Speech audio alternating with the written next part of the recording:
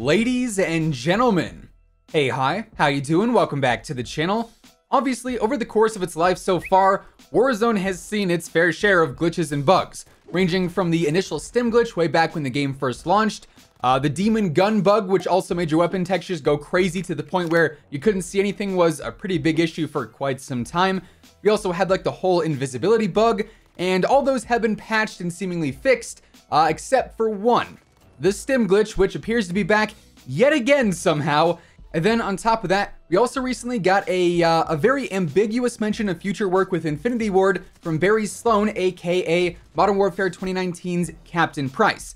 In a way, it actually could directly correlate with Call of Duty 2021.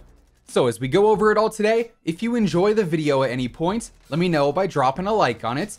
And of course, if you're new to the channel, or if you're watching and you haven't yet subscribed, I'm always covering the latest COD news, intel, and updates, so if you want to stay on top of all of that stuff, feel free to subscribe and maybe even turn on those post notifications. Also, right now, code Immortal is actually 30% off on G Fuel, so if you want to stock up for Season 1 Reloaded or Season 2 coming up here later on in February, now is a great time to grab a new tub, shaker cup, or even a starter pack. Now, let's talk the stim glitch. As we know, the stims have been a source of issues pretty much ever since Warzone first dropped. Uh, we saw the infinite stim glitch happen pretty early on where players can just sit in the zone and heal, and then heal again, then heal again and again and again until they eventually just win the game. This was fixed pretty quickly back at the start of the year, but then it came back, then it was fixed for a second time, and then it came back for a third time, and a fourth time. Now it's back for like the fifth or sixth time at this point, and uh, if you're wondering, I won't be saying how to do it in this video. I know there is one way to do it with full-on cheats. I've seen some Reddit clips of hackers doing it with like 25 kills. They're just stimming over and over again in the zone. Uh, not sure why. As a hacker, you need a stim glitch to win. I mean, the aimbot isn't enough. I don't know, man. Kind of weird. Uh, but apparently there is an actual cheat to do it now. And there's also another exploit through the buy station, it seems. But lo and behold, regardless, the stim glitch is back again. And we're to the point now where we're seeing it return like once every month at the minimum. And at what point do we say, uh, Stim's gotta go, right? To be honest, I think I actually tweeted this the other day. I don't think I've ever actually used a Stim in a serious way in Warzone, maybe ever. Uh, not once have I used it on my loadout. If I happen to pick one up off the ground when I'm looting early game, I'm probably gonna drop it for a heartbeat or a stun or a gas grenade the second that I find one.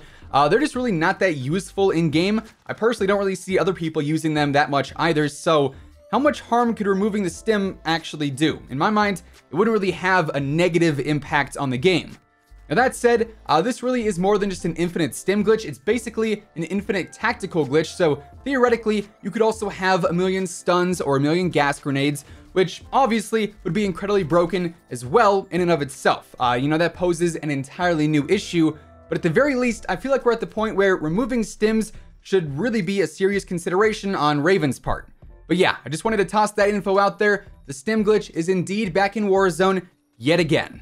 Also, while we are on the topic of cheats, there is another one that I wanted to bring up because this one could actually end up having a pretty big impact on Activision if it starts to get more and more popular. Basically, a YouTuber by the name of Bad Boy Beaman posted a video the other day, and I'll leave a link to his channel down below. But he was talking about how players can actually end up getting items in game for free by using a certain cheat software that actually allows you to unlock things like the attachments on certain weapons, regardless of what level you're at, uh, you can also unlock camos like Diamond and Dark Matter or Damascus on certain weapons, regardless of how far you are into the unlocks. You can actually unlock all the reticles and weapon customization items, and apparently, you can even unlock store blueprints and store bundle items through this software as well, basically giving you everything in the game for free. Which, uh, obviously, the microtransactions, the store bundles, are a massive chunk of income for Activision, and they're a huge source of their revenue every single year. You know, they're a big part of the reason that Activision is a billion dollar company. So if this cheat really gets out there and people start abusing this a ton to get free stuff in game that would normally cost 10 or 15 or 20 dollars, that starts taking some change away from Activision. I mean, if that's not getting Activision's attention on cheating, I'm not quite sure what else would. Uh, if this continues to get more mainstream, I could actually see this playing a pretty big part in potentially getting us that anti-cheat update for Warzone, and just a better anti-cheat update in general for Call of Duty. Now, for what it's worth, Tom Henderson, who we've talked about before and who's been a pretty credible source for insider information in the past, recently came out and said that the implementation of an anti-cheat is about a month or two out if it's coming. So take that for what it's worth. Uh, but with more and more hacks and cheats coming out, it seems like almost every single week now, I would hope we're moving closer to the point where if anti-cheat is finally added in because uh, good grief, we need it. We need it very badly at this point. Then finally for today, I wanted to touch on a bit of information that surfaced this past week via none other than Barry Sloane, aka the voice and the person behind Modern Warfare's Captain Price. A great actor and voice actor, by the way. Recently, he did an interview with Dan Allen Gaming and they were chatting like all things Call of Duty, right? Talking about Barry's experience playing Captain Price and whatnot.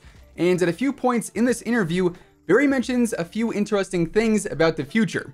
So, for one, when they were talking about where we go from the end of Modern Warfare, Barry says that he's got a meeting with Infinity Ward coming up here soon to discuss some stuff. Obviously, he can't go into any detail at all when it comes to what kind of stuff that may be, However, the fact that he's meeting with Infinity Ward at this point in the year to me says that unless they've already completed and are have finished like all the main voice work and storyline for Modern Warfare 2, then that really slims down the chance of Infinity Ward making this year's Call of Duty title because it's going to be releasing here in like 9 to 10 months.